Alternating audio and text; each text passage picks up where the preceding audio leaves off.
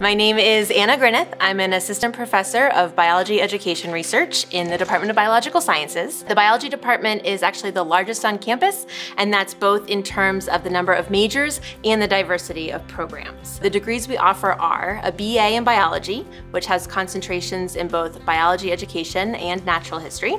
We also have a BS in biology with concentrations in biomedical sciences, ecology and conservation biology, and integrative and organismal systems. We also have a BS in biochemistry and a BS in microbiology. The academic programs for all our majors is rigorous and comprehensive, featuring a mixture of classes, labs, clinicals, and field trips. Our faculty are engaged and active, and we offer many opportunities for both lab and field-based research, and this is at all levels of academic standing. So when you come in as a freshman to when you're a senior, you have opportunities to engage in research, which is something we really try to engage all of our students in. Our graduates are well prepared for postgraduate activities.